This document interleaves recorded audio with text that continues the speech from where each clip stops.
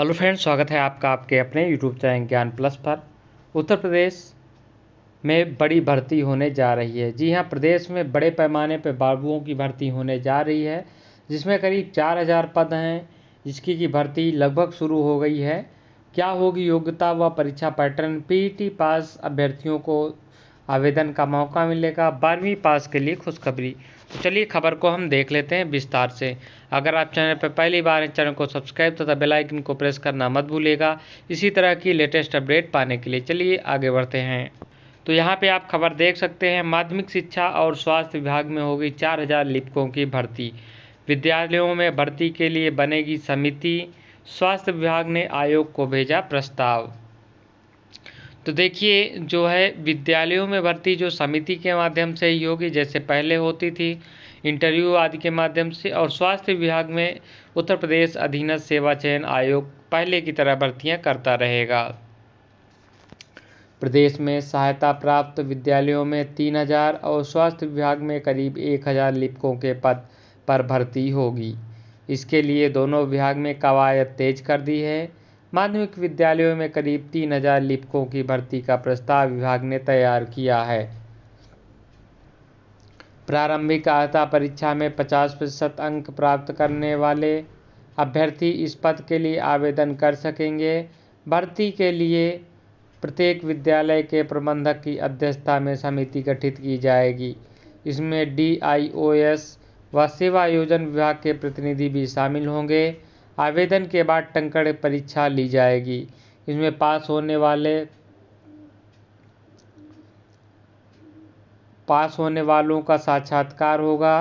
PET व साक्षात्कार के अंकों पर मेरिट तैयार होगी। स्वास्थ्य विभाग के लिपिक संवर्ग में नौ सौ कनिष्ठ सहायकों की भर्ती के लिए उत्तर प्रदेश अधीनस्थ सेवा चयन आयोग की प्रक्रिया शुरू हो गई है। विभाग के निदेशक, प्रशासक, प्रशासन डॉक्टर राजा गणपति आर द्वारा भेजे गए भर्ती प्रस्ताव में बताया गया है कि 313 अनारक्षित अनुसूचित जाति के 232 अनुसूचित अनुसूचित जनजाति के लिए 26 व अन्य पिछड़ा वर्ग के लिए दो व आर्थिक रूप से कमज़ोर वर्ग के लिए 145 पद आरक्षित हैं। इसके लिए शैक्षिक योग्यता इंटरमीडिएट या उसके समकक्ष हिंदी टंकण में 25 शब्द प्रति मिनट व अंग्रेज़ी में 30 शब्द प्रति मिनट अनिवार्य है। साथ ही ट्रिपल सी की मान्यता या इसके समकक्ष कोई प्रमाण पत्र लेना ज़रूरी है। इसी प्रकार एनसीसी व सेना में दो साल की जो रखे हैं योग्यता, उनके पास अधिमानी अर्हता रखी गई है। तो इस प्रकार से चार हज़ार पदों का प्रस्ताव भेजा गया है।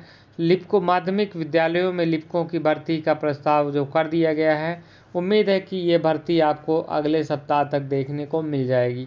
वहीं जो स्वास्थ्य विभाग की है, ये उत्तर प्रदेश अधीनस्थ सेवा चयन आयोग को भेजा गया है। तो ये आयोग अपने हिसाब से ही भर्ती करेगा। अगर हम यूपी अधीनस्थ की बात करें तो करीब आठ हज़ार से अधिक पदों का जूनियर असिस्टेंट के अधिक पदों का अध्याचन आयोग को मिल चुका है। जिसकी भर्ती आयोग करेगा या नहीं करेगा, ये तो वक्त ही बताएगा। लेकिन अध्याचन काफ़ी बड़ी मात्रा में आयोग को मिले हैं। तो ये रही बड़ी अपडेट आपके लिए इस वीडियो में इतना ही। मिलेंगे अगली वीडियो में। तब तक के लिए जय हिंद, जय भारत।